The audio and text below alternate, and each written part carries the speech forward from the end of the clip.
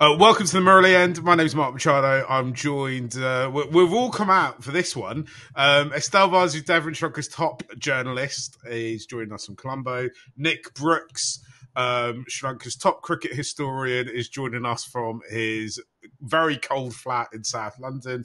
And Dominic Machado, the professor of cricketology, joins us from across the pond in the US. We have all come together today to discuss um, Sanath Jayasuriya's so far quite short but quite illustrious and victoryful um, career as head coach, head manager, the head honcho of the Sri Lanka men's senior side. Before we get onto that, though, let me remind you of a few little bits. Firstly, if you haven't done so already, please hit the subscribe button.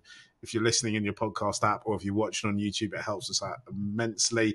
Leave us your likes. We definitely, for this episode, more than any other, want your comments. What do you think of Sanath's uh, time as head coach so far?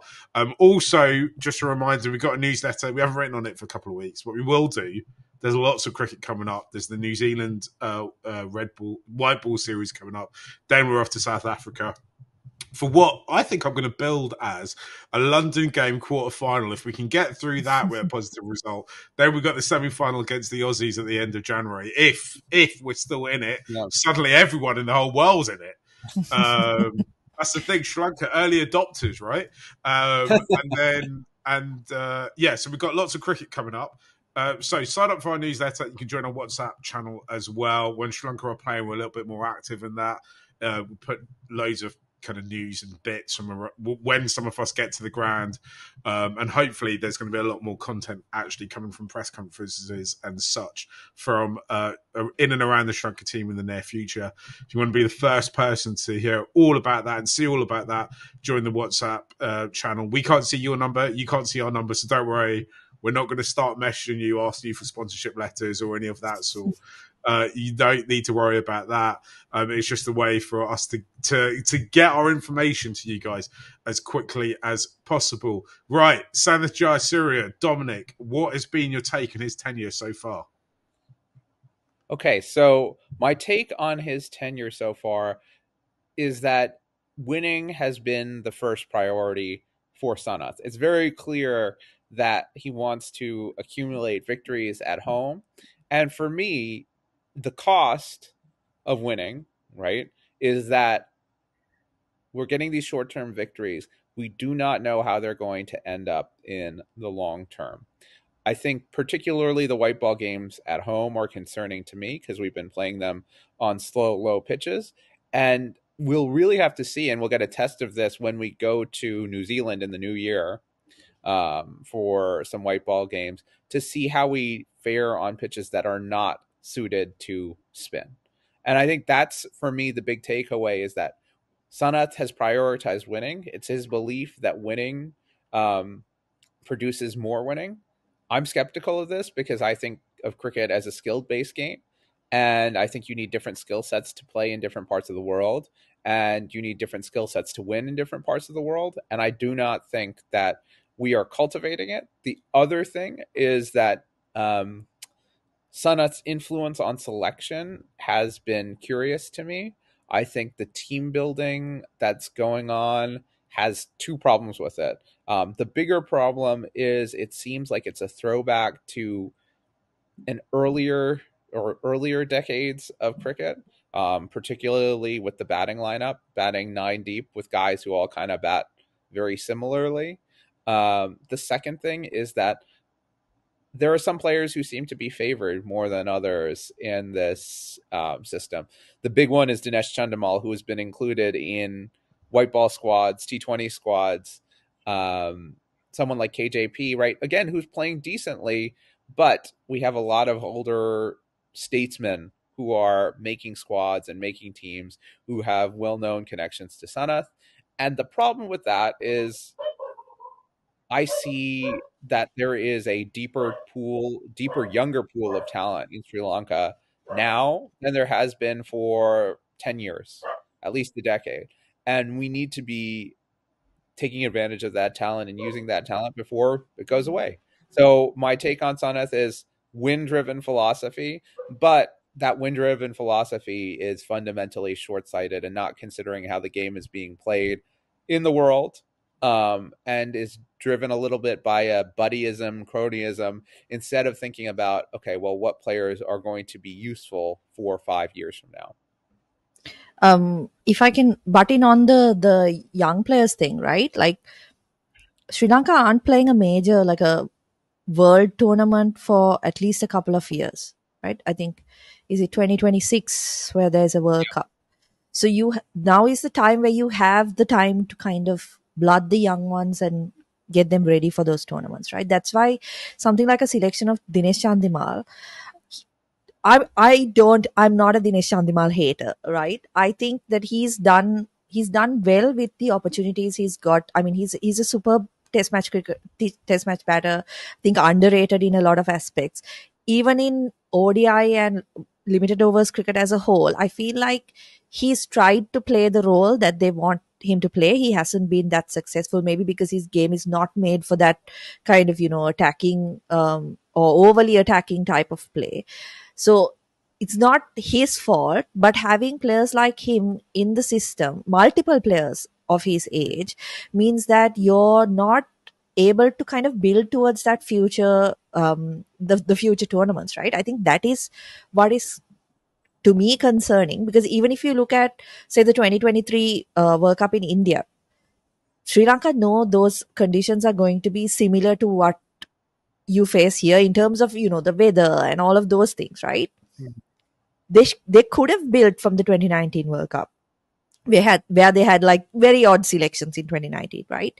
And they should have been targeting 2023 to you know get the young players in. And there was that kind of thinking as well but it was abandoned after a couple of years after not seeing success right?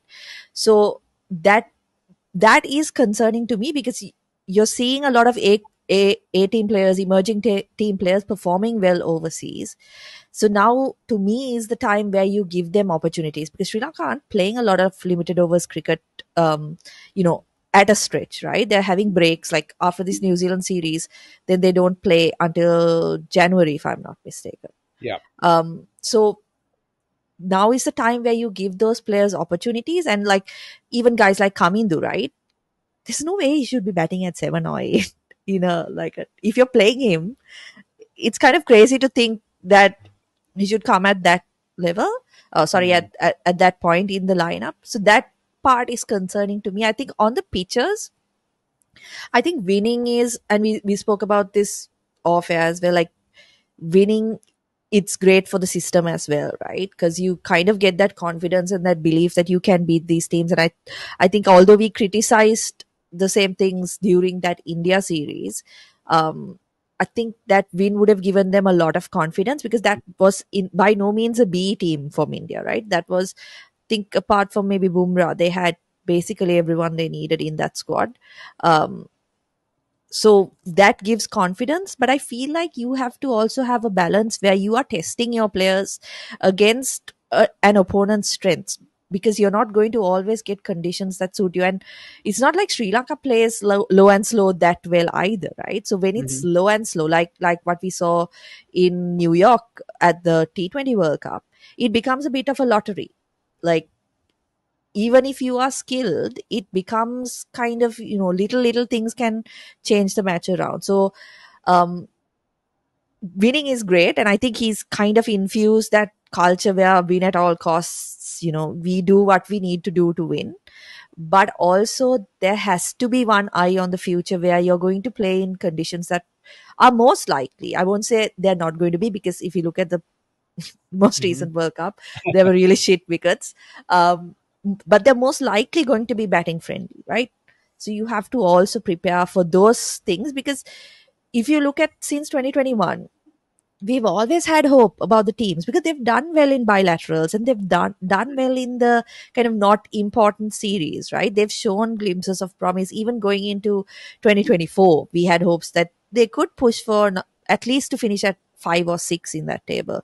2023 was the same, but they kind of fell apart um, in the big tournament itself. So it's important to not kind of get ahead of yourselves when you see this kind of success because it's not just after Sanath came that you're seeing success, right? They've Mhm. like even the fact that they are in the running for the- for the the World Test Championship final. Sanath's been in charge for one series of that. They've done the work in the previous series as well, right? So I'm not taking anything away from him. He's probably having an influence on on the results, but you need to have an eye on the future as well and what you where you want to go, right? I agree with most of what you guys have said, and I totally concur that picking Chandimal for a T20 series where he's going to sit on the bench makes no sense when you can have a young player around the squad gaining experience. I worry about what's happening to the stable of fast bowlers. I mean, you look at someone like Dilshan Madushanka, who was such a breakout at the World Cup last year. He still only played 24 ODIs, and you think that a guy like that needs to be getting more experience. Again, the treatment of someone like Theekshana, who I think should be playing every white ball game for Sri Lanka and has been in and out because on the pitches, on some of the pitches, Charith Asalanka is more effective than Theekshana. And I mean, I'm not sure that that's like, uh, I agree, that's not a recipe Yeah. for long term success. But my rejoinder would be that in the last six, seven years, I can't remember a period of such success cross formats um, that we've seen over the last few months since Sanath's been in charge. And uh, I get the feeling that he's just connecting with players in a way that Silverwood couldn't, that Mickey couldn't, that even Hathuru didn't. And I mean, you saw there was a press conference from Angelo when someone asked him what had changed, and he was pretty unequivocal. He was like, it's Sanath Jayasuriya. And I mean, we got to see it up close, Marky, right? A lot during the England series, how positive the vibes were. Uh, that everyone seemed to be relaxed. Everyone seemed to be singing from the same hymn sheet. And when Sanath spoke at the end of the series, uh, I was really impressed by the kind of um, the content of what he said. That he was like, "I want to win. I want to win every game, but I want these guys to do the right things and play cricket right." And as much as there've been selection uh, decisions that I haven't agreed with, something like when you look at that Lord's test, where the decision to bat first, the decision for Nishan Madushka to keep wicket and open the batting, it's a complete head scratch and no one can explain that. And I think there are going to be those kind of things that keep cropping up along the road. But I think when you counterbalance that against what he's getting out of the team and the improvements that we've seen from players and the kind of uh, confidence that seems to be filling the squad, that maybe that's a necessary trade off. Yeah, I, I, I think you know the the one thing you've got to consider above this is what what is the purpose of the Lankan cricket team's continuing existence, and that is to you know it's obviously to spread kind of the word of cricket and for Lanka to have glorious wins, but it's to kind of spread joy, right? And it does feel like this is a, a joyful team at the moment. I mean, you, you you the easiest way to do that is to win games. That's what they're doing.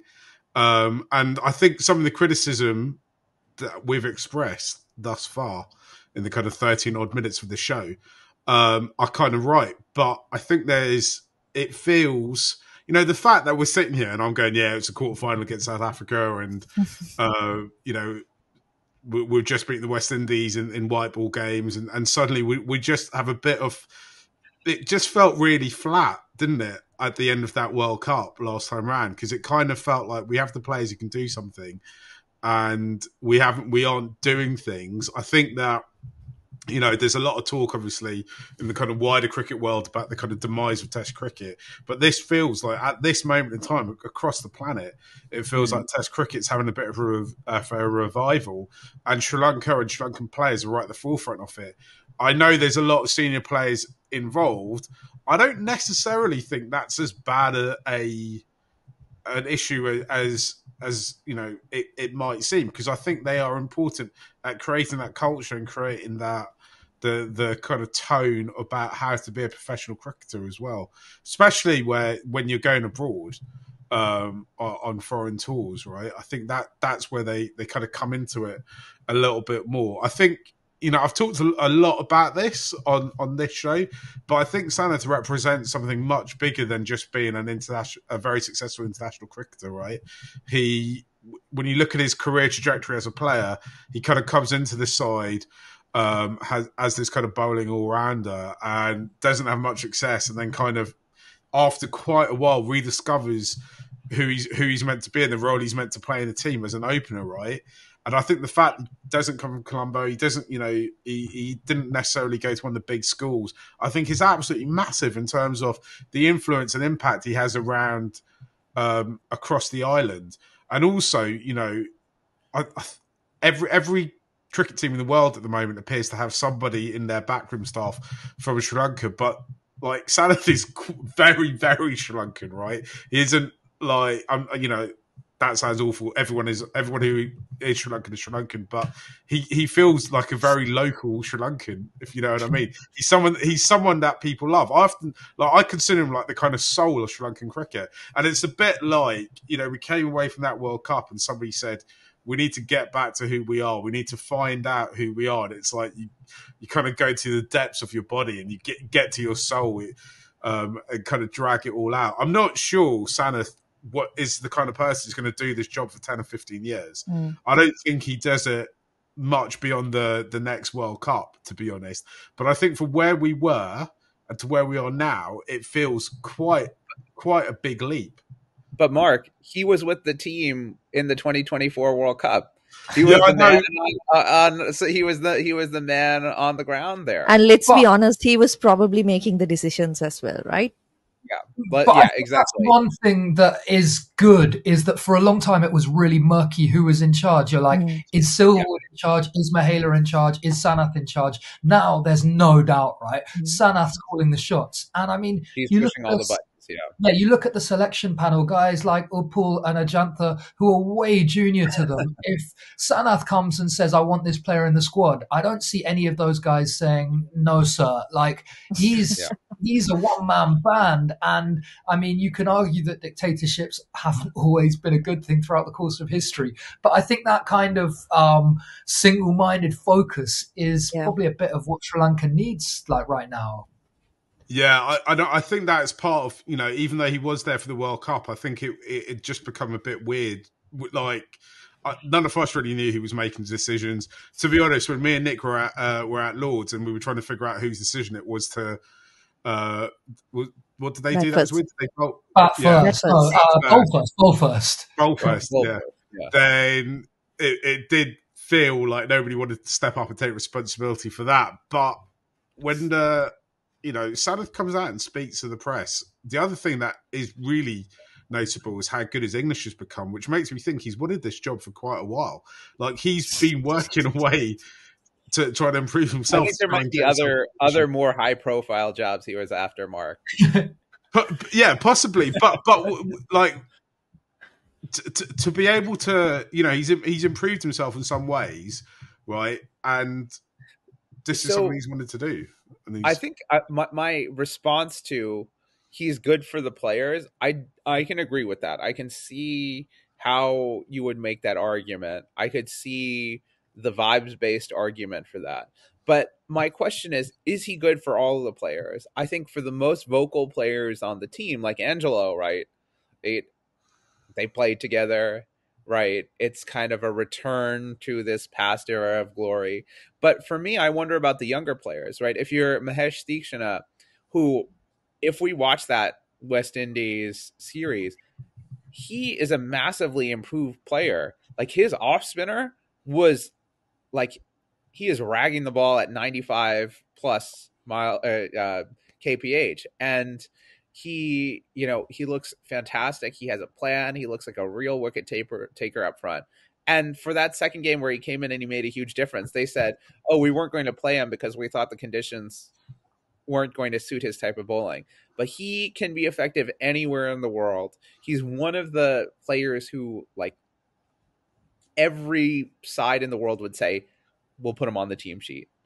Matheesha Pathirana, right? Someone who um, that um, Chennai paid 13 crores to retain.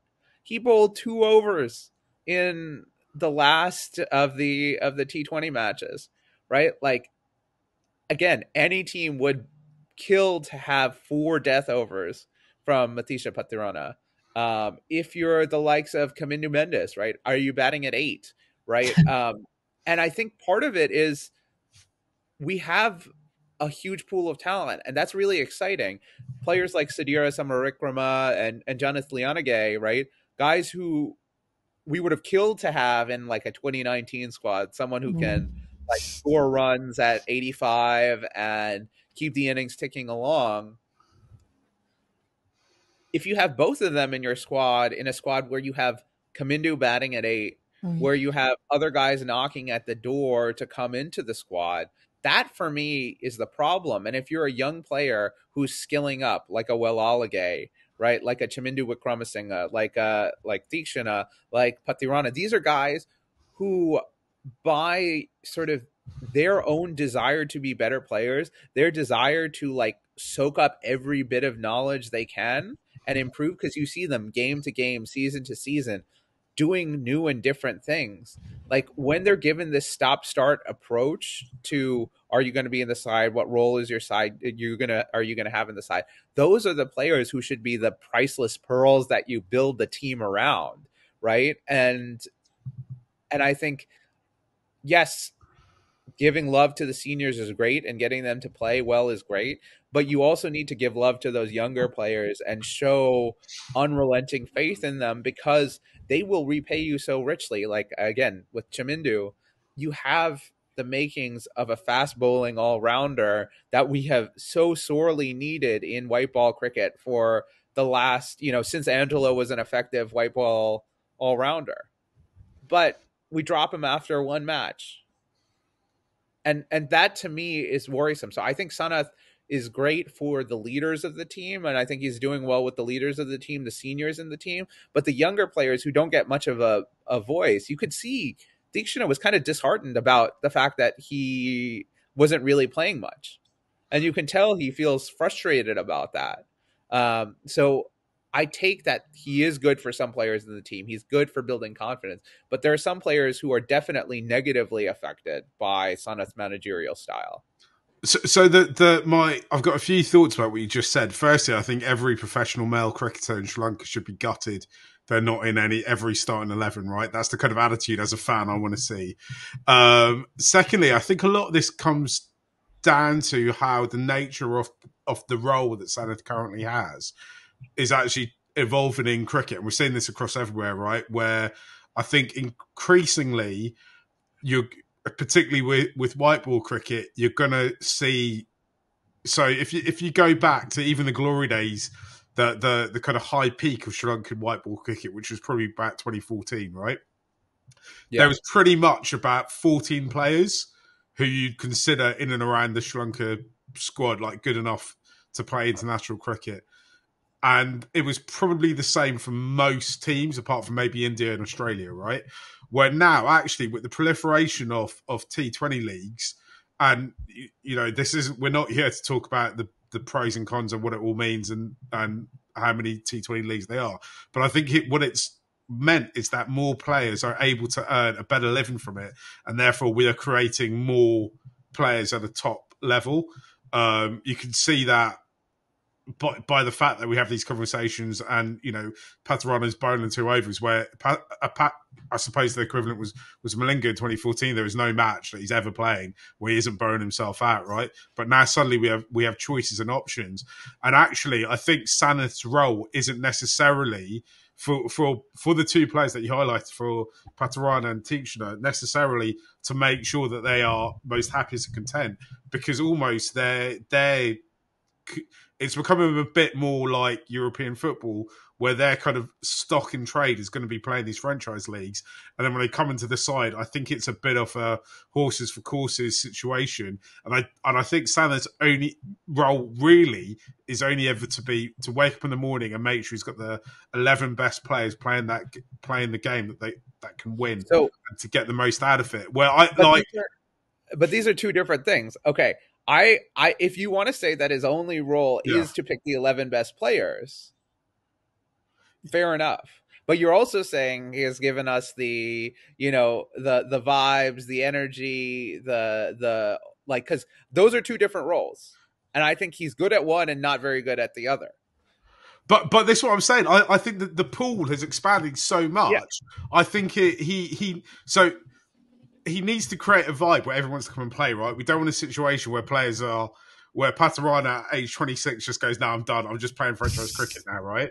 We don't want that situation. That is the worst thing that could happen to us. Right? But he needs to create a situation where um, players players think that if they play well, they can get into the side. I think in the years gone by, I don't think that's necessarily been a, a situation with, with, Sri Lanka. We've seen players just totally fall out with with coaches. Um, I can remember was it uh, Bhanuka having to put up a big old Facebook post to, to talk about Mickey Arthur not picking him because he was unfit or whatever. But uh, well, I, I, I think we're a little bit kind of moved on from that. But I think it like we're we're, we're potentially in a situation where come with the IPL and PSL being played at the same time this year, there's going to be well north of 11 Sri Lankan cricketers playing franchise mm-hmm. cricket in Pakistan and India at that point. Um, there's a T10 league in Sri Lanka as well. So, yeah. yeah. Um, so like he's he's going to really like we're, we're at a stage where I think the talent pool is almost too deep to for everyone to be kind of as satisfied with, with the white ball game. I don't know if the way this is all heading is that Sri Lanka going to have to end up with a with an individual white ball coach and someone that just looks after the test side. I also I think that's probably the way forward, right? Like having um, a separate uh, coach yeah. for each each format and I feel a bit like he, um, he has backed players in a way. Like I know that we were upset that Wiki came in and got one game, but at least he's been like consistently a part of squads, and it feels like mm. Will has been more consistently a part of squads. And uh, I mean, I thought that he's handled the Kusal situation in tests well, where a lot of people would have just discarded him, and he's found a new role that he's more confident in. Vanders again is someone who seems to have been like backed to be around the squad permanently permanently. So I think it's it's nuanced and it's difficult, isn't it? I'm sounding like I'm Sanath's number one fan, which I, uh, I, am not necessarily. I do have drawbacks, and I think you know that this is the guy who picked Ramith Rambukwella when he was a selector. So I think there's always going to be uh, a whiff of partisanship along the way. But I think that there's a lot of things are going right. I think when it comes to that, like a lot of people also, I think a lot of the criticism also comes from the fact that he's had a previous tenure as selector and there were so many problems during that period right? Like with the number of players that were selected and rotated and all of that. So i think some of the criticism is coming from that as well where you kind of you've almost seen this before and you don't kind of want to be too optimistic about it in, in terms of like the players like Wickramasinghe and Maheesh and stuff, the only thing I hope is that the communication is there, that they are hmm. told why they are not playing because to me, I think you have to be flexible, right, with the players that you have because you have so many options. In that sense, I do agree with what Mark was saying in terms yeah. of like having specific players for specific roles in specific conditions. Like you can't say, oh, these seven players will definitely play.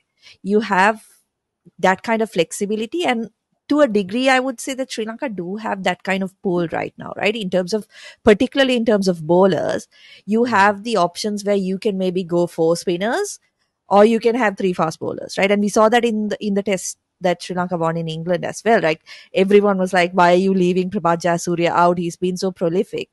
But Sanath Jayasuriya is probably one of the only people who could drop that guy and, you know, yeah. not get much criticism afterwards because he's that kind of, he's looked at in that sort of way, right, in Sri Lanka. I, I, I also think that it kind of goes back to something we talked about a little almost right at the beginning, where it's we don't no one ever comes out and tells us what these people's roles actually mm. are mm-hmm. like who we know and basically we know this from us not just digging about and annoying various press officers at, at slc Thank you, Prasanna. Um, where we know that you know they've got this fast bowling school. They have people who look after who, who work with specific batters. We know there is a structure for kind of the A team and developing players and emerging players, um, but no one ever really comes out and talks about it. Apart from occasionally when you get those kind of insets into the The into interesting broadcast where you see thing about the the tub. A team and stuff is like I, what I would like to know is is this a system like the A team and emerging teams are getting a lot of tours and a lot of games, right? Even the on the women's side, right? You you've got under 19s traveling to Australia. You've got a lot of fixtures. Is this something that was put into place while Mahela was kind of Mahela and Tom Moody were handling the um, kind of the the structure, or are these new developments? Because we're seeing the fruits of it now but it's not a new Uh, thing, right? Like the Super Fours were introduced a while back. Super Fours for women were introduced, uh, I think last season. So there, like you're seeing more developed players coming out now, but the work has been do, been Yeah. kind of building up to that for a year or so. I would say. and Yeah, how streamlined that whole system is. I did hear that um, Jehan Mubarak is now the analyst, right? And he's been doing Oh, all the under 19 interesting. stuff. I don't know if he's still working as the under 19 stuff while being the analyst for the main team, but if so, that's a kind of good indication that things are all quite sort of working together as one rather than being distinct bodies. I think Dom's point earlier was really good that uh, it's going to be very telling what kind of team he lines up when the ODI side plays away and goes to New Zealand in the new year. Like if Kamindu is still batting at eight in a team full of part-time spinners away from Sri Lanka, I think we can all agree that like that is not a Yeah. good sign. So that for me feels like a kind of litmus test how they go about uh, approaching white ball games away from Sri Lanka. I I think too the thing that Estelle brought up of and, and Mark about horses for courses. I'm all for that, but the thing I'm worried about losing is that if the courses are 60% of the time spin courses, Eighty percent, You know, probably. 80% of the time, right? It you have this stable of fast bowlers and you can't just expect them to show up in Australia, okay, go do your thing because as cricketers based in Sri Lanka, where are they getting their exposure? Right? Are you going to be totally dependent on league cricket to give them exposure to different types of situations? And maybe with a Pathirana, you you can depend on that because he is so in demand. But Mhm. someone like Dilshan Madushanka, where he's at home, he's working at home, how do you how do you prepare him, right? And the other thing that worries me is with the fast bowling stocks, I don't know that we're using them properly, right? Like we didn't see Chamira or Kumara around. We saw Asitha Fernando being preferred, right? This sort of medium, like fast medium pacer or as the the the pace option, right? So I think even though there is that like really rich pool of talent, right? We have Ishan Malinga. I would he's someone I would love to see in the squad. He really, really has looked um excellent. So that's what I'm kind of curious about. Should Asitha Fernando be playing three formats as a fast bowler? I don't think he should. Um, so for me, it's it's particularly some of the talent that we've cultivated, like the fast bowling talent. I want to see that used, and then the other thing, and these are more specific points rather than like ideological points, is like um, hitting, right? Right now, when we bat nine deep, hitting is deprioritized. But there are going to be some parts of the world where you're going to have to have a few hitters. You're going to have to have a few people go after it, right? And what positions do you put those players in? Someone like Wanindu Hasaranga as a batter, right? We we saw him promoted to a floater role, and it didn't work out. But that I think is okay because it's such a critical role to play, and I think it's a really difficult role to play. You can't expect your floating hitter to give you 50s every match. But if once every five or six matches they provide pro, like provide a match turning knock, that's successful, right? So I don't like the fact that he's batting an eight or like when we're um, 150 for two in the 15th over, it's you know he doesn't come out. He should be the one that comes out. You want to let him succeed and grow into that role. So for me, those are the two places where that I think are one important to how Sri Lanka fares in white ball cricket, their the health of their fast bowlers, and two, their ability to hit, something that we know has been a problem. And I think we do have we're starting to get some of the players like Chamindu, like Dinura Kalupahana, who can hit, right? Um, and you want to see that nurtured so that the game can go forward. And I agree, winning is important, but like those are the parts of the game that I'd like to see Sanath pay more attention to, and maybe it's just my my sort of is Sanath trying to recreate '90s cricket. In terms of the fast bowling, right? I think if you look at international teams that have been successful, you'll see that like it's the fast bowling that they've really kind of nailed, right? You look at Australia, they've got Hazlewood, Stark, Cummins, who've like carried that bowling unit for years. Sure, they have Adam Zampa, and you'll have the like you'll have a really good spinner, and Sri Lanka do already have two really good spinners, right? Yeah. Um, but it's fast bowling that has enabled a lot of teams like India to be successful overseas. Um, it's n- like if you look at if I take India in Test cricket, the early 2000s, they had they always had the best batting lineup on the planet, right? They always Yeah. had the best batters. They had Sachin, Ganguly, Dravid, VVS, all those players. They still couldn't find success until they built, they prioritized having a good fast bowling unit. And then you see the overseas wins rolling in, right?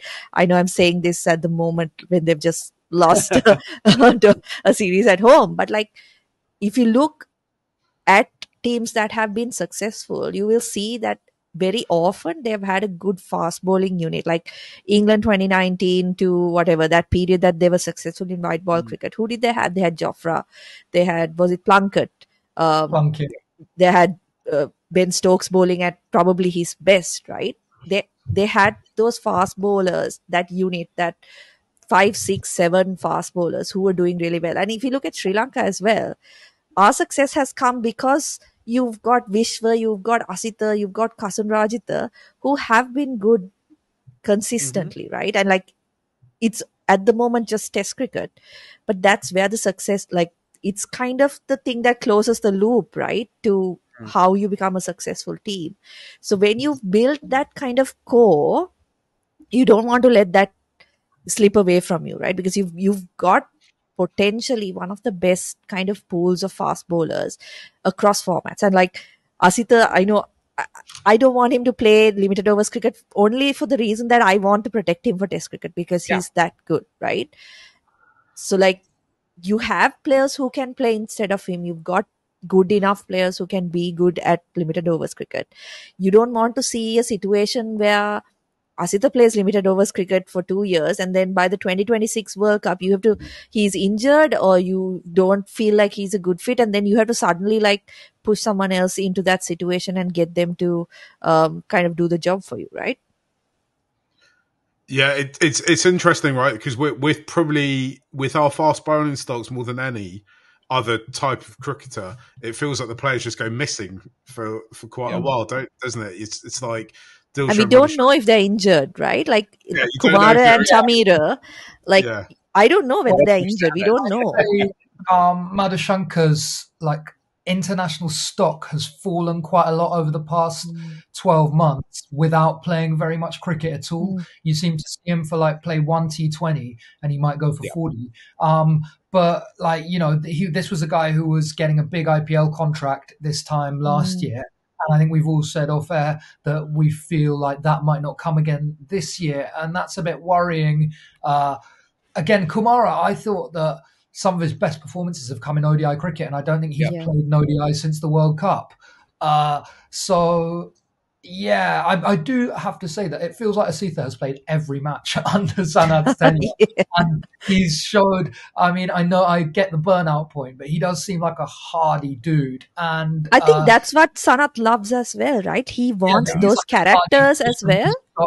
Um, and I, I, I think Asitha has shown a higher ceiling in white ball cricket than I Mm. thought he had. To be fair, Right. So, um, you know, it's I guess all these things they're they're complicated and it's spinning wheels. But I do totally agree that it feels like, especially in fast bowling terms, there are resources which aren't quite being used.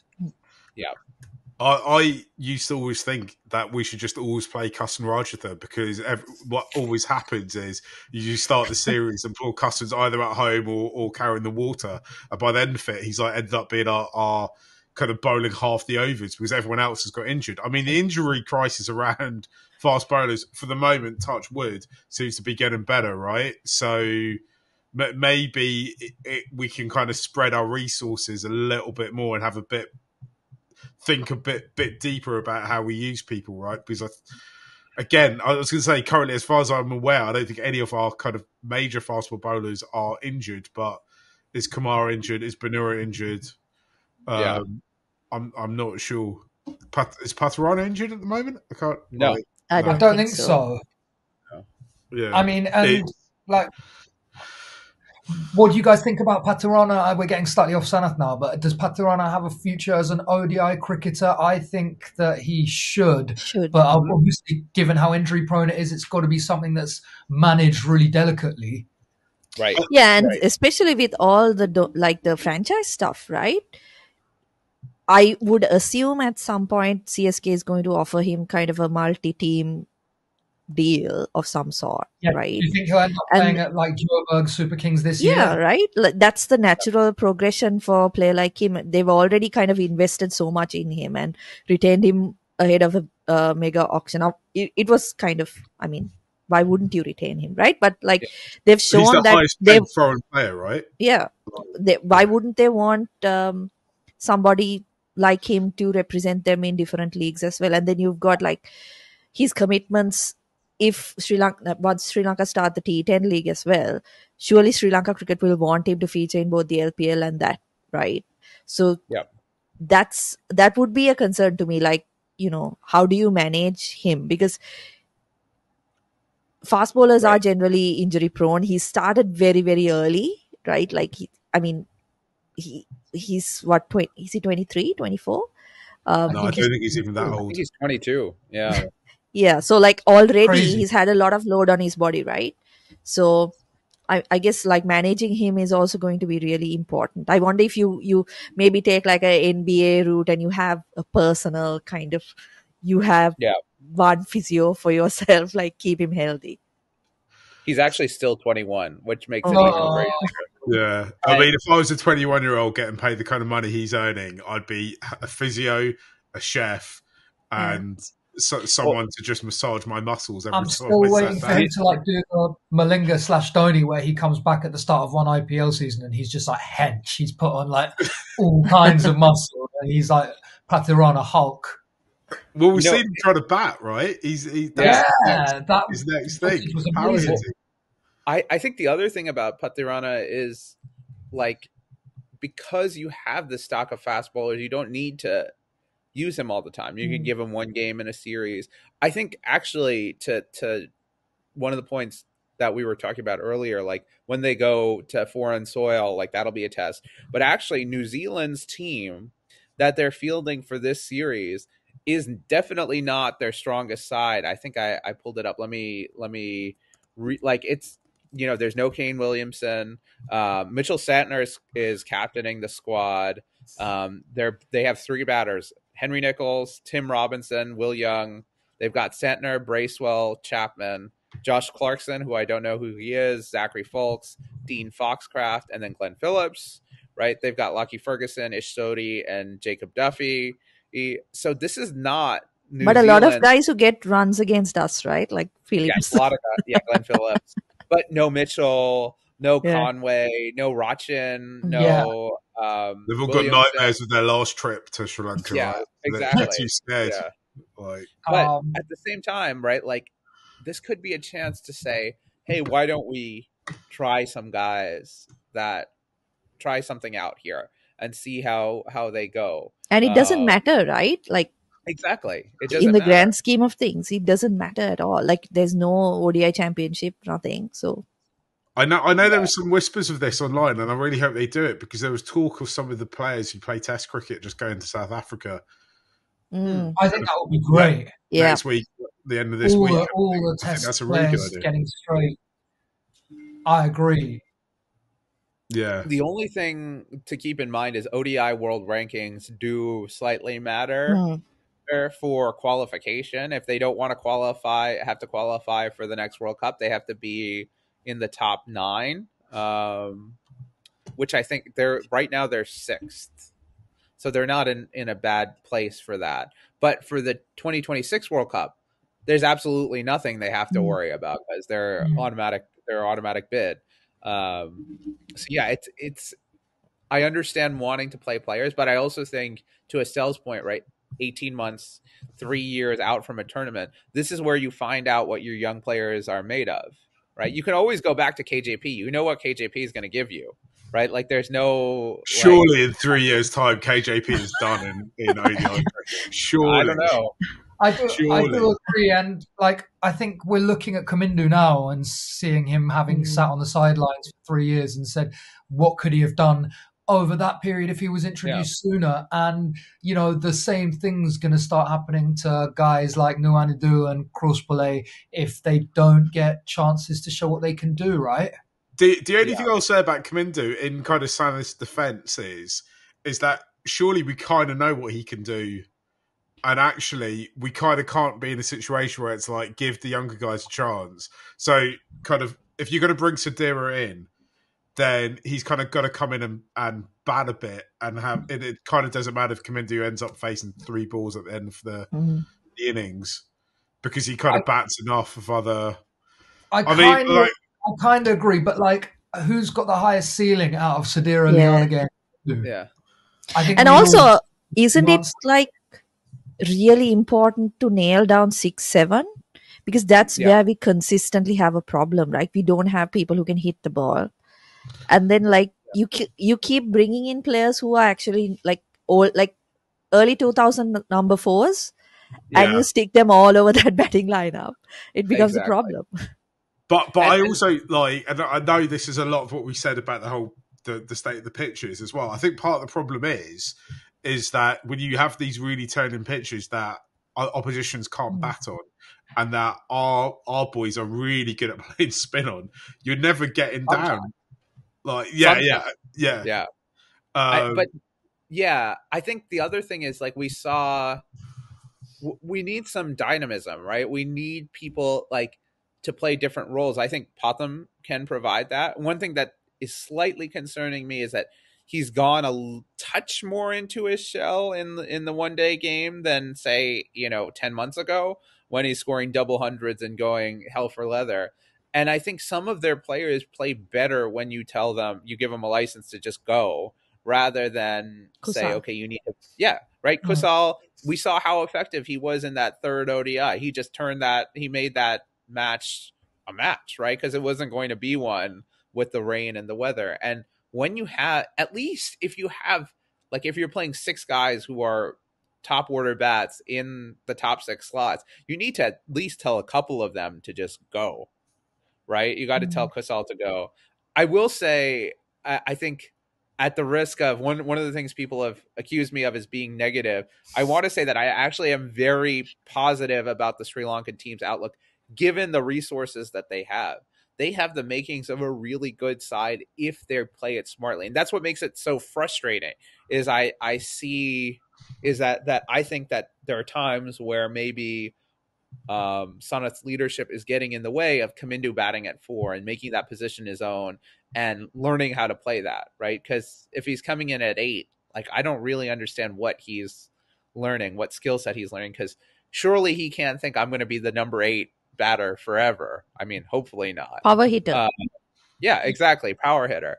And the guys who are, you know, what do we get from Janith Liyanage bowling six overs of his medium pacers? Like that's like that's just not going to like that's not going to work. I mean, like whatever whatever way we feel about the pitches, like that's not successful in any in any scenario.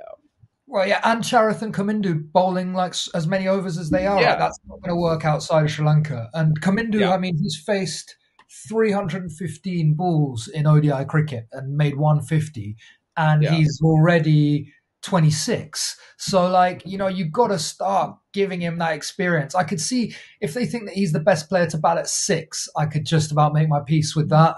But him batting seven and eight, I don't think is um, just well. I don't think it's just not right. I think when you look at Hasaranga's career thus far, and even Kusal Mendis' career thus far, too much, too mu- much of their career has been spent trying to fix a hole, opposed to Yeah.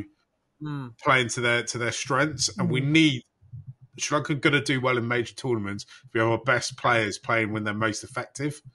Um, and I still think Hasaranga is a floater, especially in T20s. Yeah. is Yeah. that should That's be very abandoned.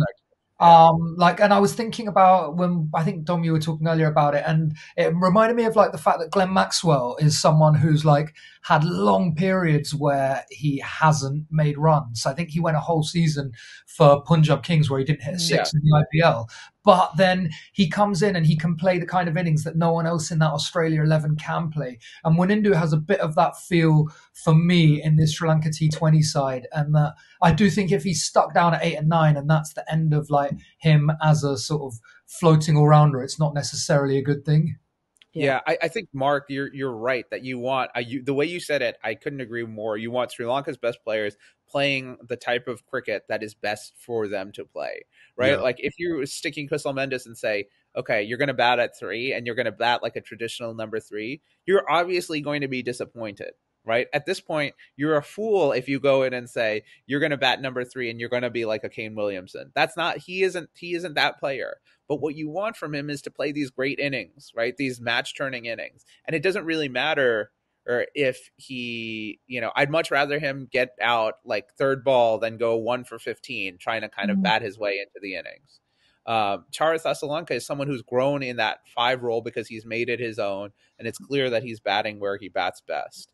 Um, Pathum Nissanka, again, right? So I think that's the key is saying, okay, who is going to take that six role and make it their own and play their best cricket in it? Um, and there can be different ways to to slice things up, right? Like um, India doesn't really have like yes, they have Hardik Pandya who can finish, but they score a lot of their runs at the top of the innings, right? In in 2023, they went hard early, right, to try to maximize that power play. There are different ways to getting to good ODI scores, but in order to do that, you got to do what you were saying, Mark. You have to have everyone playing a role they feel very comfortable playing. it's um it's when I look at kind of Sri Lanka as a white ball team at the moment, I'm more more talking about the T20s, I think, than the ODIs. Um, because for me, the ODIs t- like too far away from World Cup to really conceptualize. Like, do whatever you want. Um, pick, pick the bat numbers out of the hat. Uh, but it feels like you've got Pathum and Kusal at the top. That's fixed. That's been there now for what 18 months, is it? Uh, maybe even longer. Two actually. years, two years now, yeah. Two years, yeah. And it feels like actually those two have developed a really good partnership. Charith at five developed a really good partnership. And then it just feels like everything else is slightly chaotic. And you're like, it doesn't need to be like that. Yeah. We've got really top quality players. We've got good players in positions. We've seen from the Charith and the Pathum experiment almost that if you put plug players in, you give them a finite roles when it comes to batting, that they will react to it and they'll they'll kind of make it their home. You've got this situation with Kamindu where he's coming through now, or he's he's almost like fully developed as a, as a player, and you're like everyone in the whole world is talking about him as one of the best batters in the world, and us lot we still can't figure out where where where to put him, and it, I just don't want it to be this case where we end up looking back at it and it's like oh we kind of wasted it, we kind of Yeah. you know we didn't quite get it right. Um, then you know Hasaranga for me he needs to be we need to try and get him to a place where he's he's facing more balls. I think that floating role is, is ideal for him. I then you know we all know I'm a big fan of Wellalage just because I think that we've seen him Mhm. play really crucial innings and, and do really crucial bits. Should really, in my mind, be definitely starting um, in the eleven for the uh, for the World Cup, which you know is eighteen months away now in real terms, right? Right. Um, so we need to be getting him in, and we need to figure out where his best place is, is batting. Is it, you know, just under um, one e? Is it? Could he? Does he? Does he need to be a floater as well? Because you know that he's got gears with his batting, right? We've seen we've seen that happen as well. Um, who who else do we need? You know, who's coming in at three? Is KJP in it? Is Bhanuka in it? Like Mhm. what? Where Bhanuka's going to be what 35, 36? Come Yeah. come the next World Cup? Like, is he going to be someone that we can rely on? What is going on with Sharlaka? We can't like he's. I think again, it's he's- characters as well, right? Like if you look at the the players that you mentioned, like Pathum Nissanka, uh, he he got a lot of criticism in his first like one and one and a half years of cricket. Right, he was making the runs, he wasn't making quick enough.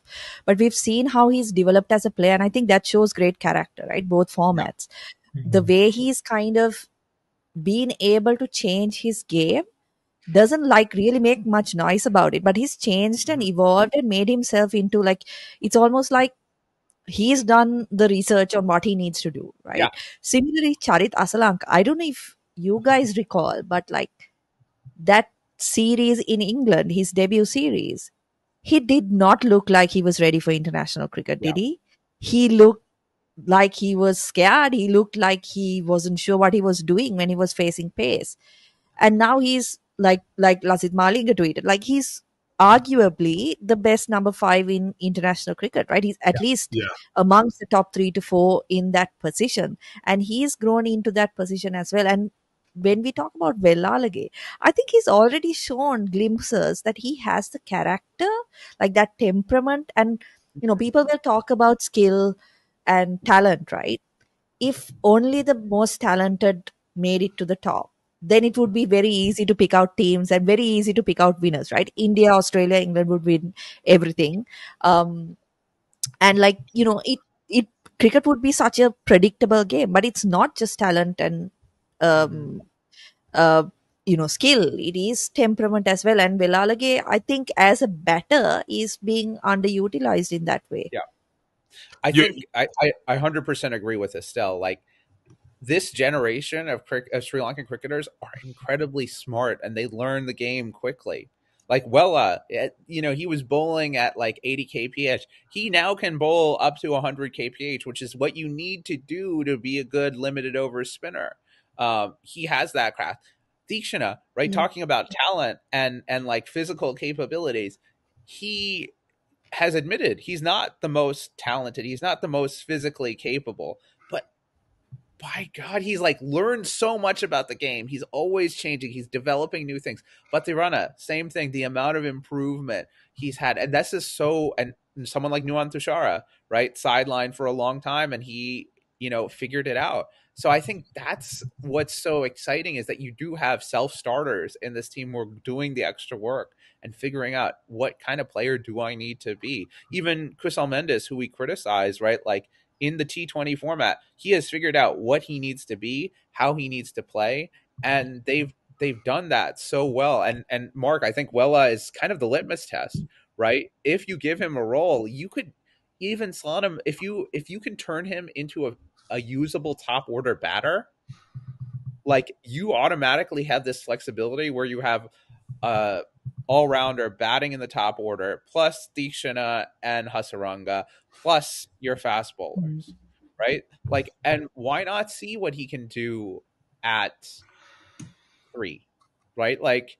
what what do we lose seeing what he can do at three in this series, say against New Zealand? Like, if he can score at 130, 140, pat you pat yourself on the back and say, okay, well, let's back him for the next 18 months and see if he can be that match winner for us. I, uh, so I think in, in general terms, I and me and Dom touched on this in the last Murali End pod that we did. Is I feel like the way SLC select the sides almost is like there's players are like clumped in tiers. So there's like the top tiers where they think have a a, a kind of world cl- either are world class or could be world class, and then there's a middle tier where they think that probably their ability in some ways limited, might score runs at home, probably not going to score too many away from home. And then there's the bottom tier who kind of come in to like kind of fix particular gaps and, and particular um, solve particular problems, right? And I think that the the reason why some players are considered top tiers goes back to what Estelle was saying, where it's like mentally they're like post just their talent, right? And when you speak to any of the coaches who've been involved in youth cricket or developing any of the stronger players, the one they all speak about at the moment as well, they're just like he's the guy who's like next level. He's the guy who can kind of win us win us games. Um, and I, I think some of our frustrations can, as fans, can often be kind of like, why are these middle tier guys not getting a upper? You know, why are they being pushed into the upper tier? But actually, the people in and around the squads, the people who are working with them, will know like these guys, their ceiling is here. When Mm. actually these guys, their ceilings like next level. I think potentially we're in a situation where if you if you go back to like 2014, I think Schlug had like maybe kind of six or seven match winners, and then there was a situation developed where, for various different reasons, where we had maybe two or three match winners. But I think we might be in a situation where in kind of 18 months' time we could be back up to having kind of six or seven match winners in any given side. If not, actually thinking about it, I mean potentially even more, right? Um, those players that can go and get you two wickets in the Nova, those players who can hit, you know, 50 or 30, that, like that's what we need to be developing and need to be in a situation where when the time comes for it, we can get the best out of those players. What do you think, Nick? I feel like I haven't heard from you in a little while. I think we're already there at that stage where we've got six or seven match winners. I think you'd say that like the match winners aren't quite at the same extent, obviously, as you know a Sanga or a Mahela or a Murali or a Malinga in their prime.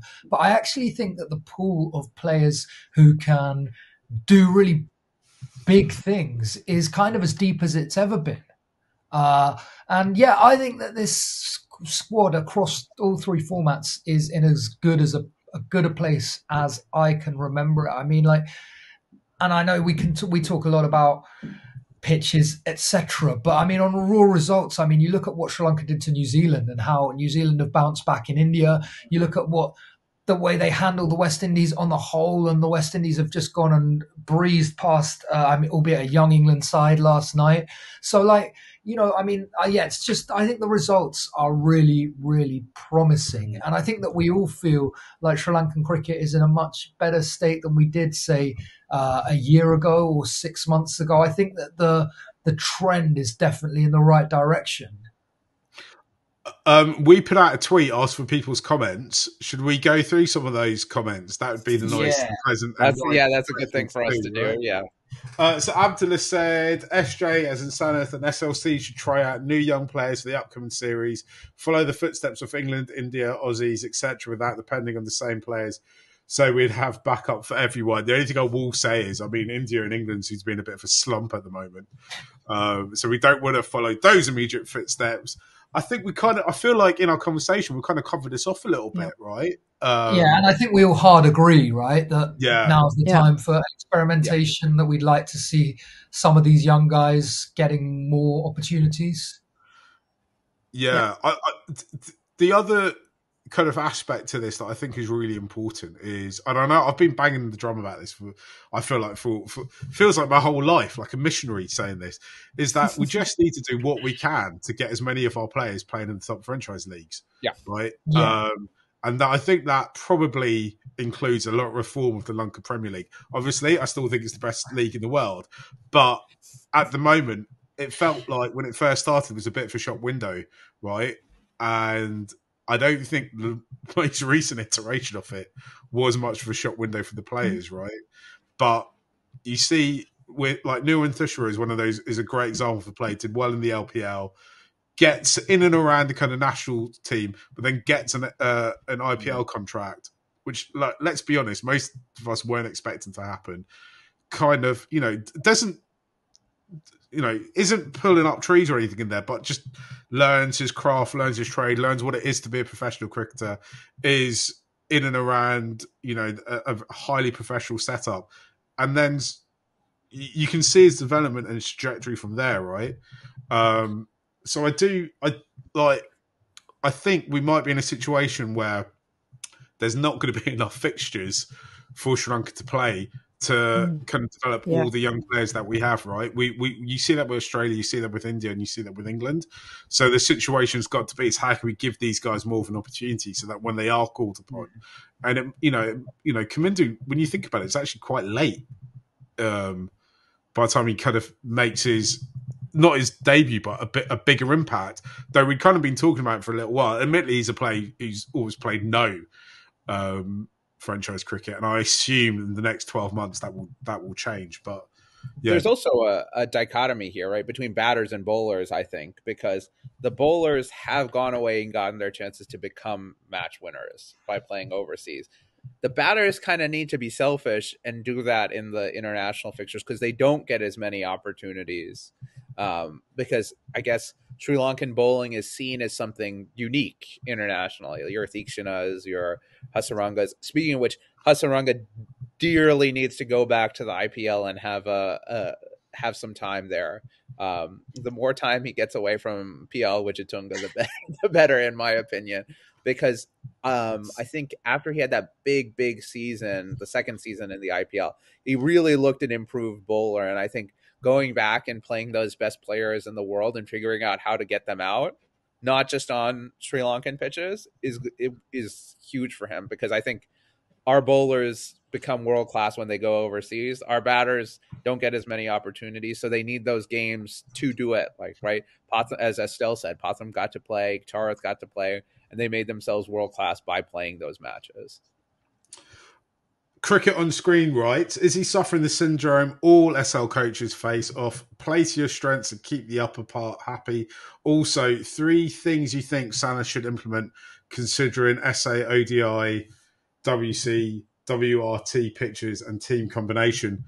I, I have actually uh, thought about the first part of that question in the the trying to keep people happy and see that is that is a issue that plagues a lot of I think domestic teams in Sri Lanka in terms of schools level and club level in in various sports.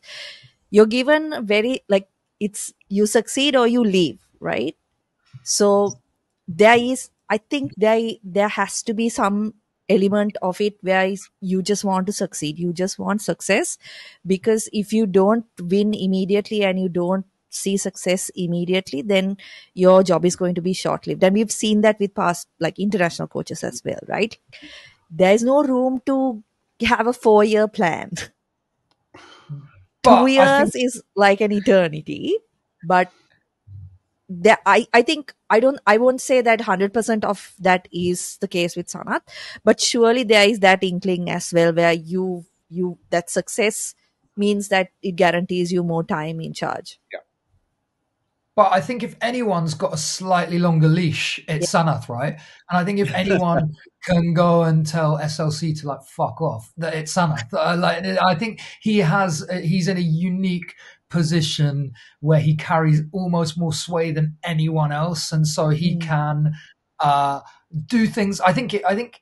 I've always thought that since he became interim coach, he wanted to be the coach full time, and so yeah. that winning was particularly important in those first few series. Mm. Uh, but now I think it is the time where he can start to build a plan, and that you've got to be looking to, towards the World Cup because, like, at this point, you've got to say winning bilateral series, it doesn't mean a lot apart from the confidence that it's bringing the team.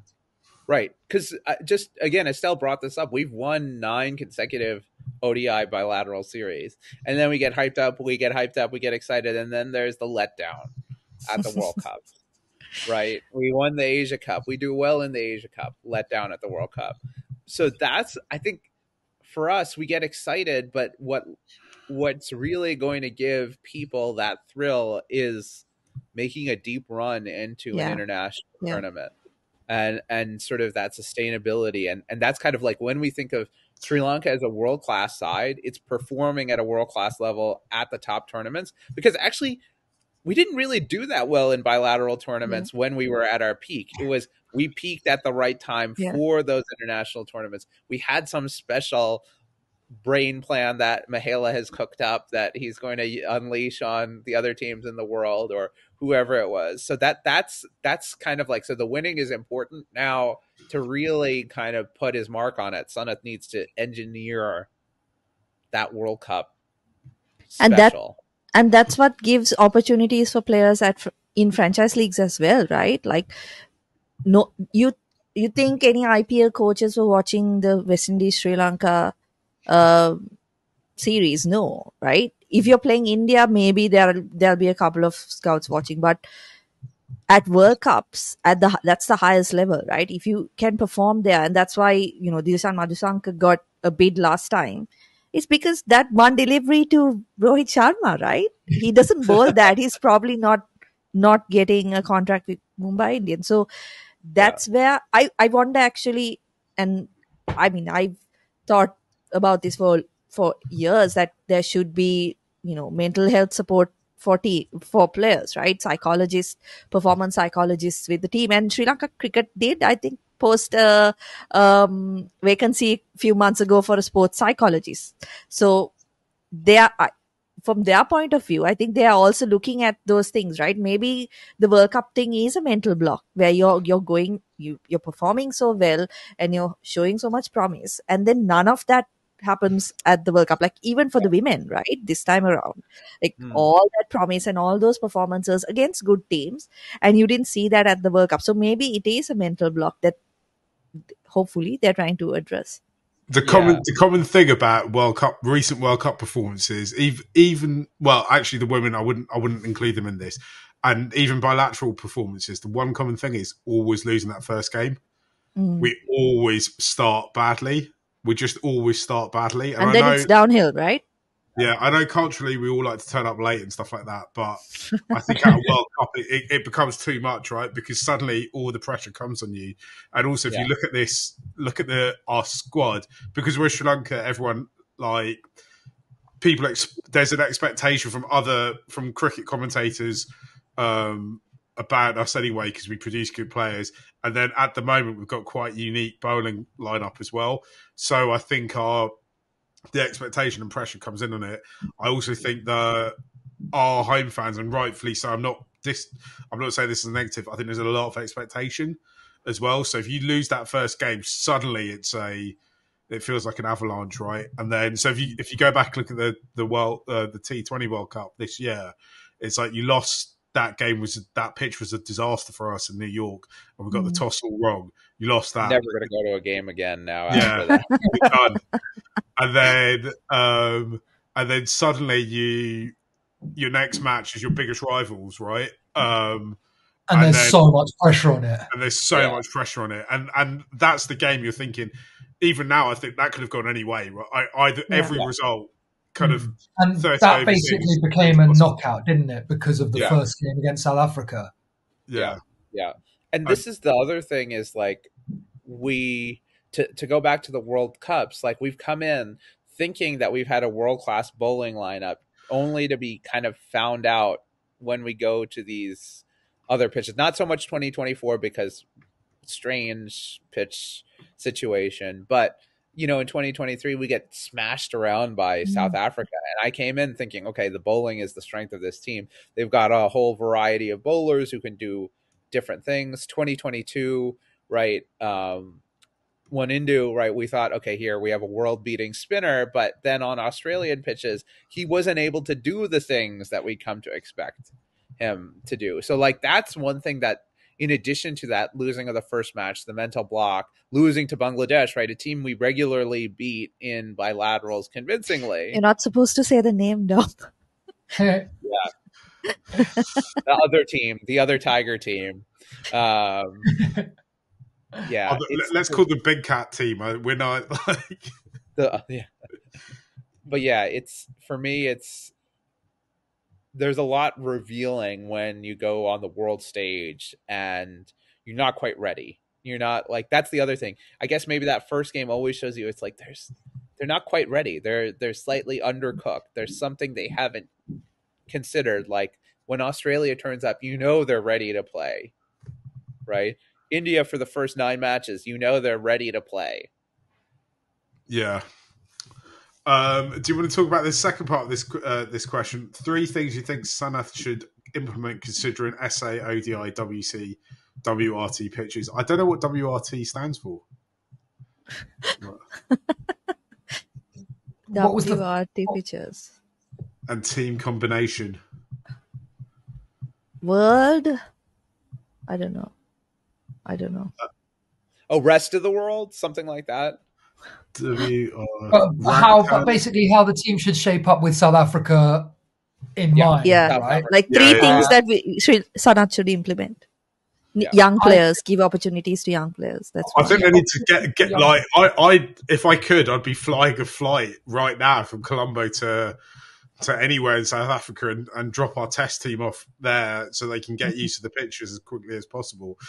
South Africa just tore apart the the other guys.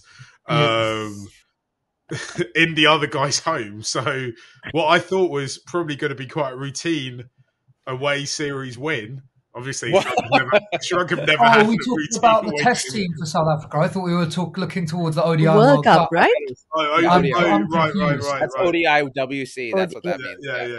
Um, I think especially Chamindu uh, playing lots of games Mm. because we've seen it's easy to forget when you play watch a lot of T20 cricket, but all rounders are really crucial in uh, 50 over cricket and especially seam bowling all rounders. So that's one Yep. for me.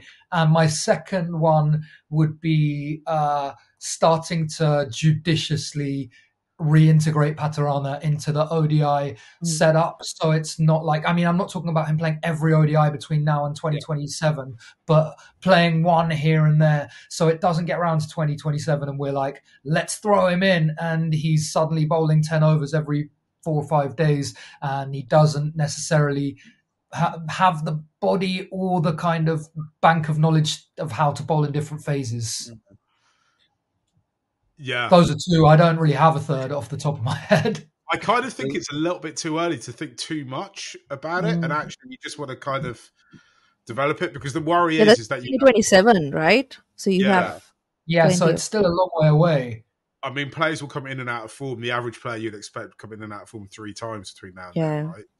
Well, yeah, you got to get your pacers ready. I think that that certainly is the thing that you need to do is have your pacers develop fitness. Make sure you have a rigorous fitness plan for those pacers to keep them healthy for that World Cup. And uh, again, I agree with Nick totally. Develop pace all rounders. The other person I I bring up is Danura Kalupahana again, who bowls some pace and and um, can hit down the order.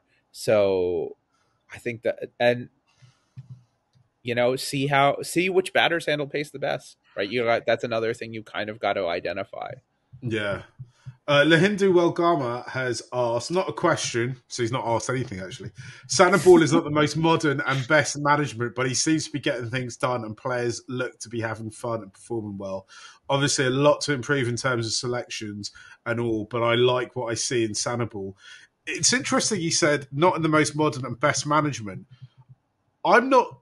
I, I think the whole management question is quite interesting, right? Because obviously, me and Nick live in England, and in England, Baz McCullum has managed to just persuade the people that winning matches doesn't matter, which is like the most hilarious thing in the world. Um, you know sometimes i think like maybe he just really hated england and tried to like sabotage them from the inside I mean, like they've just picked Jacob Bethell for a Test series, who's like hasn't scored a first class century, averages twenty um, in first class cricket. If Sri Lanka did something like that, I mean, Sanath would be getting slated.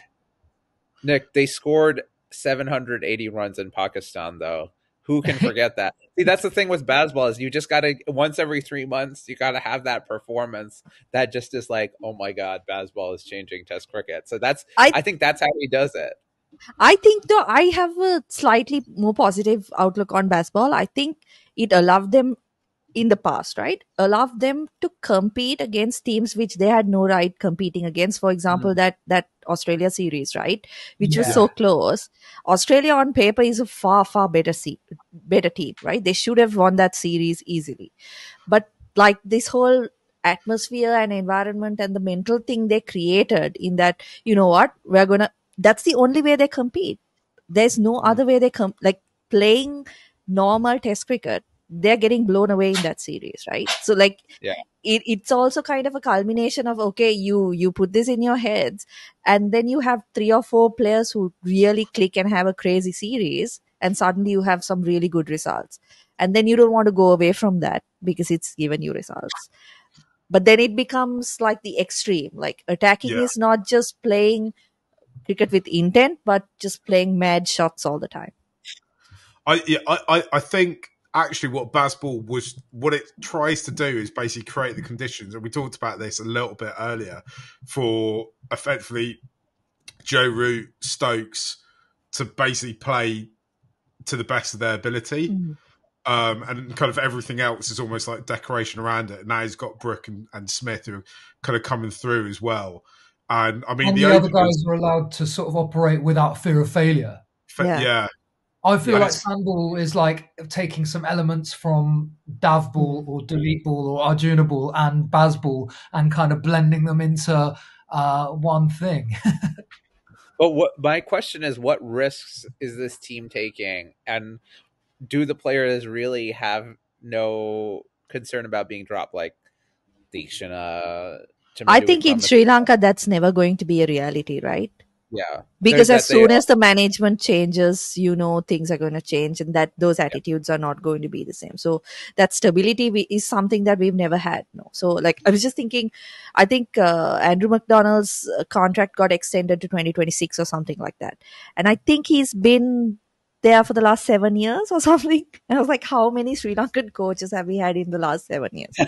He, Three, yeah, he, right? He would have been there since twenty.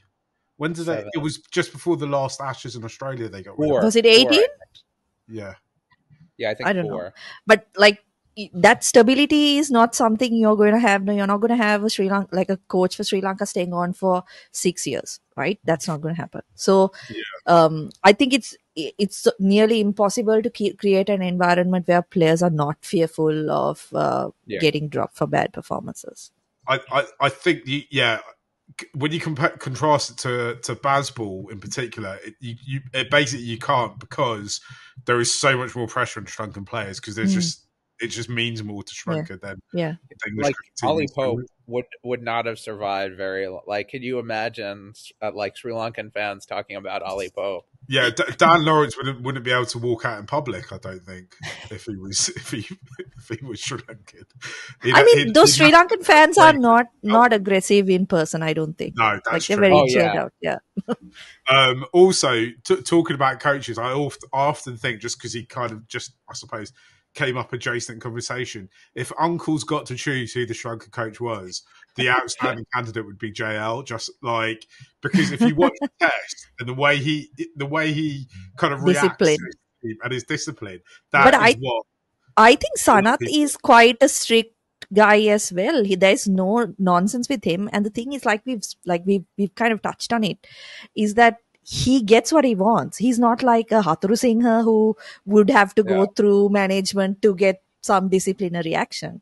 If he says this guy's, I don't want him, that guy's done for a period of time, right? Like, I mean, I can drop some hints offline about incidences I've heard of, but like with him, there's no like he's also a no nonsense kind of guy, right? Yeah, Yeah, Right.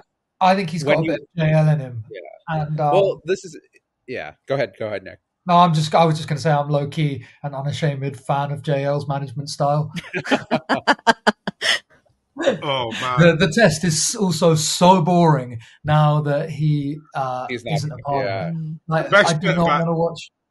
the best bit about the second series office when they go to Galle, right? Like, Yeah, Yeah, that was amazing.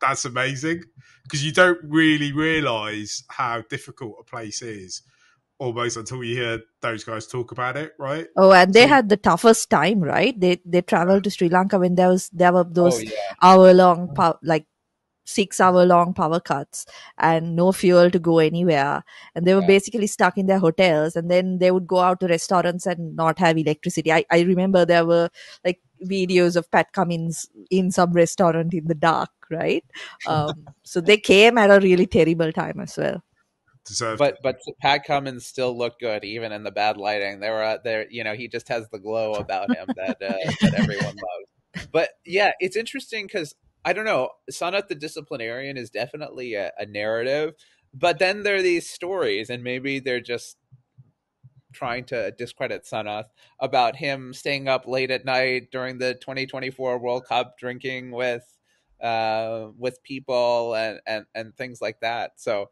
and we know Well, he's Sanath, the coach, you know, right? He could do that. Why not? Like, well, I in got a 2024, bit 20, both like about him. I think he's a mate, Yeah, but he's exactly. also Yeah. like yeah, yeah, a star. yeah, And you don't, you know, you don't want to get on the wrong side of him. yeah. yeah I, I said that I wanted Ravi Shastri to coach Sri Lanka, right? And I think there's an element of Sanath is about as close to that as we're going to get, right? I think he's Mm. probably more Shastri than JL, like in, in my opinion, but I don't know. I don't know because I don't know any of these people, right? um, Harry, um, who I'm going to call a friend of the show because Uh, when I spoke to him once, he told me that his mum had actually carried me when I was a baby. Which was I can't remember. um, uh, does this brand of cricket seem sustainable given Lanka is still in a rebuilding stage? what is the brand though? What- I think that's the next question. Like, the I feel question. like I'm What writing an? English lit answer, but like, what is the brand? I think the brand is to be unashamedly Sri Lankan, right? And like, if, if, no, no, no, because the brand is find a way, right? The brand is always find a way. It's like whatever's going on, just fucking fuck. Shouldn't swear on this. Find a way, right? Just figure out a way to do it. If it means playing eight spinners and and Madushanka bowling two overs, then that that's what we do, right? Um, I mean, the problem comes is when we have to go away from home and suddenly you're in you're in North America and you've got a squad of 14 people. Then and we don't have the way. The way doesn't exist, right? Yeah. yeah. So I, I agree with Estelle here. I'm maybe I'm more again, maybe I'm being a Debbie Downer, but I don't think they've yet to establish their brand, right? Like it, uh, unless that brand is if you come to Sri Lanka, you're going to get slow, low pitches, and you're going to see death by spin, right? That could be that that that's Yeah. their that's, that's their nice. brand. We know what happens when you do that. we though, know what happens, right? But we haven't. That's what I've seen.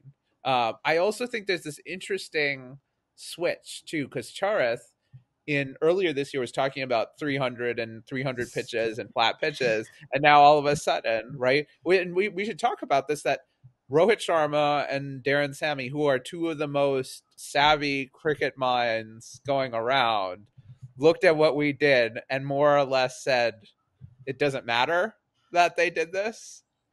Um, and and like I guess there's the internal validation that we get from winning, but also what is the rest of the cricketing community thinking about how we're approaching these things? It's it. But I to be think- honest, do do you guys feel like the rest of the cricketing community actually even pays attention to Sri Lanka? I don't think they do. No, I don't mean this. Like no, they I don't. think they it, don't. They you absolutely know, don't. like uh, it's I, actually quite disrespectful, right? Like no one's talking about Sri Lanka as a test team. When Sri Lanka has I done really, I mean, barring those two Pakistan tests, they've been really good, right? Sorry, Nick. You And I no, I also think when like a team like India come to uh, Sri Lanka, there's a certain amount of like presumption and entitlement that they're just Mm. gonna roll them over, and that when that doesn't happen, it's like an easy fallback to say like, oh, they gave Yeah. us some rank turners, so this doesn't mean anything. Mm. Uh, I mean, oh, we And it should have- that- it should have acted as a lesson to them, right? Like that their batters can't play spin, Yeah. and yeah, they've and lost I that mean- series to New Zealand because of that. and we do say that like obviously the spinning pitches close the gap between like sides who can score 400 and sides who can't but it doesn't turn it into a total crapshoot right you still Mhm. need skill and nous to uh Yeah. Be able to win on those one, one thing we actually haven't talked about i don't want to get too discursive, but is that like i've also feel like there's been a real upsurge in the fielding since sanath took over Mm. and that like that those kind of aspects of things or do you think do you guys think i'm Chandana. chatting nonsense? No, no. Upul Chandana. Oh, uh, yeah, oh yeah. Chan- Chandana is, I guess, like yeah. Um, Yeah, and I guess it depends on whether you think like some of these things are long term shifts or Mhm. short term shifts, right? Like we can't see what they're doing at the HPC or what they've been doing for the HPC the Mm. last eighteen months, right? So I think that's it's always hard to attribute, and maybe that's just wishy washy, and maybe fielding is about energy, right? And Sanath's got the right energy levels, Yeah. but it's always it, it's it's hard to see like detached results from the immediate circumstances but also the past circumstances that have produced them. So i think we're in a case where in 12 months time we'll know a lot more about Sanath's program than we do now right? Because we'll have had more evidence. We'll see how players change under him as opposed to how they were changing before him. And I think it also comes down to like sometimes when you're winning, everything goes your way, right? Like even if there is the odd catch dropped or odd error in the field, you don't really pay that much attention to it. You're more focused on the mm. result. Yeah. Whereas when you're losing and you're not feeling well, it kind of things kind of spiral from there, right? Yeah. right that's right that's like very true. Yeah, Guys, we've been rattling on for quite sorry. a long time. Should we answer this last question or talk about it, and then we we can all part our ways and then enjoy our Sri Lanka cricket free weekend? Um, define the SL brand of cricket. We've just tried to do that. Understand that this isn't directly about Sanath, but I haven't truly understood what it means. Also, have you won one more game in England? Do you, Sanath, do you think Sanath would be critiqued for thinking short term? They absolutely should have. And the longer the further away I get from it, I think they definitely should have won at Lords. They Mm. definitely could have won at Lords. And I think it's fair to critique them losing at Lords Yeah. because it was because of this, like, the and what decision. about Old? Trafford, Marky? Should have Yeah, won. they, they, they could have they could have won at Old Trafford, but I think I can kind of forgive that because it was the first test. Also, it was it was absolutely freezing. It was as well. miserable. But was- aside from like a couple of really crap sessions, I thought that they did, were just better than England at Old Traff- Trafford. That's the game that I look back on Yeah. and think that they really should have won. I think I think from an English perspective, actually, when Baz and, um, is removed from his position, probably just after the next Ashes, and they lose five 0 in England and Australia next year, I think the the rot start was started by Sri Lanka, or at least the alarm bell should have been ringing during that series because they should have just gone, hold on, like I think that's what we that's our role right now, right? Like we played New Zealand, beat them 2-0, thumped them, and we showed India that like New Zealand is nothing. New Zealand goes there, beats them. we created with, the uh, kind of rot with England. With a lie detector test of international cricket. Yeah, yeah. Oh, That's the brand. That's the brand. Yeah. there That's the. That's brand. the brand. I, I, I still think in that in that final test against the Oval, the brand was they figured out how to do it. They dropped Prabath. They just they actually the other thing about that test is is that I think is kind of under talked about is they got angry. Like we ju- as a people we don't well I suppose we do get angry with each other but not with other people right? And I think we need to um like you know was it the day three when they started talking about bouncers and stuff like that? And then it just suddenly started breathing fire and then it just set the whole English cricket ablaze, and they haven't really recovered since. It's still on fire, tumbling around the West Indies, um, like a like a racing driver getting out their their cars. It's run into the into the pit lane on on, on flames. Um, so I think they kind of figured out the way, and the way was to get angry about it, and maybe Sanath get gets that emotion. Again, it's all like we kind of don't know, right? Because you like you don't know what what goes on with these teams but that won't stop us speculating. Guys, we leave it there? Because it's been 90 minutes. Thank you So for in joining us. conclusion, we don't know. In conclusion, we don't know. We we need to wait and see, right? But I think, you know, if if Sanath or anyone else at SLC or if the players are listening, there's loads of things to think about. please Um, don't ban me from. Uh... Yeah. If you've got this far and haven't hit the subscribe button, I don't know what else we can do. Like, it's fine. You don't want to subscribe. 90 minutes in, that's cool. But keep watching, keep listening. Leave us your comments, leave us your likes. Um, we love hearing from you. Uh, we're all part of a big community. Uh, the women have kind of the women's team have disappeared for the moment, but the men's team are back in action against New Zealand um, next week. So we'll be back with updates from that. Um, through that series, and then of course we're looking forward to this um, South Africa Test series as well. Um, lots going on with Sri Lankan Cricket at the moment. Uh, we'll be with you every step of the way along it. Thanks for watching. Thanks for listening. Bye.